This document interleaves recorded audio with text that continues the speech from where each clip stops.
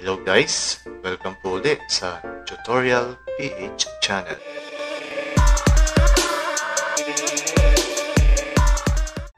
Hello guys!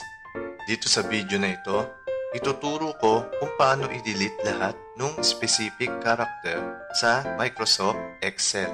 Dito sa file na ito, makikita ninyo sa column A ay merong katabing S, yung amount or number. Ngayon, i-delete natin yung S. Kung iisa-isahin natin ito, pwede naman. Kaso, kung marami na ito, masyado ng time-consuming kung iisa-isahin natin. Ngayon, ituturo ko ang pinakamabilis na paraan para i-delete natin lahat ang S. Ngayon, i-click lang natin yung Home tab. Pagkatapos, sa right side, i-click lang natin yung Find and Select. Then, piliin natin yung Find. Then, may lalabas dyan. Then, i-click natin yung Replace.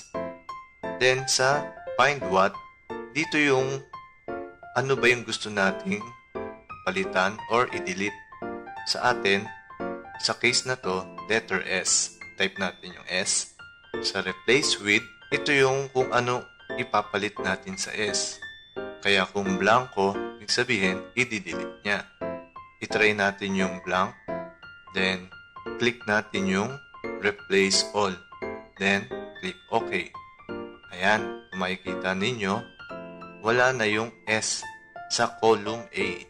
Ayan, kung nakatulong ang video na ito, sana pakiclick ang subscribe at pakiclick na rin ang notification bell para ma-update kita kung meron akong bagong upload at pakilike na rin ang video na ito. Salamat po.